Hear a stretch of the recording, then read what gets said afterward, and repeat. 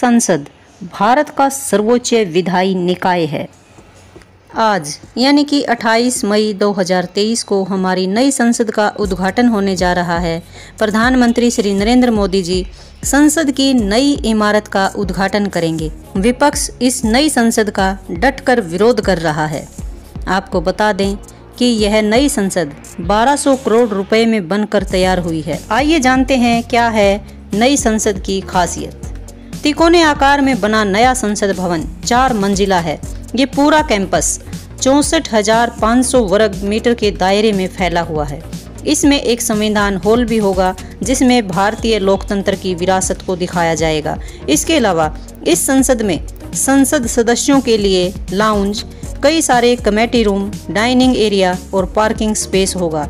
संसद भवन के तीन मेन गेट ज्ञान द्वार, शक्ति द्वार और कर्मा द्वार होंगे।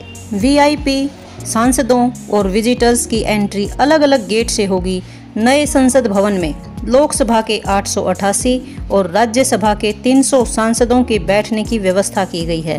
अगर दोनों सदनों की संयुक्त बैठक होती है तो एक समय में इसमें 1280 सांसद बैठ सकेंगे। संसद के वर्तमान भवन में लोकसभा में 550 जबकि राज्यसभा में 250 सदस्यों के बैठने की व्यवस्था है। संसद का नव निर्मित भवन, भूकंप रोधी भी है और इसमें प्राकृतिक रोशनी की व्यवस्था भी की गई है। इसका सबसे बड़ा आकर्षण विशाल संविधान कक्ष होगा, जहाँ भारत की लोकतांत्रिक विरासत को दर्शाने के लिए तमाम चीज़ों के साथ साथ संविधान की मूल प्रति डिजिटल डिस्प्ले वगैरह दिखाए जाएँगे। संसद आने वाले दर्शकों खासकर विदेशी डेलीगेशन के लिए भारत की संसदीय लोकतंत्र को समझने में मदद मिलेगी। लोकसभा अध्यक्ष श्री ओम बिरला ने कहा, नए भवन के माध्यम से देश की सांस्कृतिक विविधता प्रदर्शित होगी।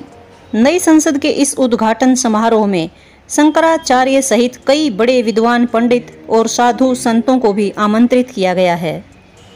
इस उद्घाटन समारोह में कई विपक्षी पार्टियाँ शामिल नहीं होंगी। अब तक 20 विपक्षी पार्टियाँ नई संसद के उद्घाटन के बहिष्कार का ऐलान कर चुकी हैं। विपक्ष की दलील है कि नई संसद का उद्घाटन राष्ट्रपति को करना चाहिए, न कि प्रधानमंत्री को। आपके इस बारे में क्या विचार हैं, कमेंट करके हमें ज़रूर बताना। धन्यवाद।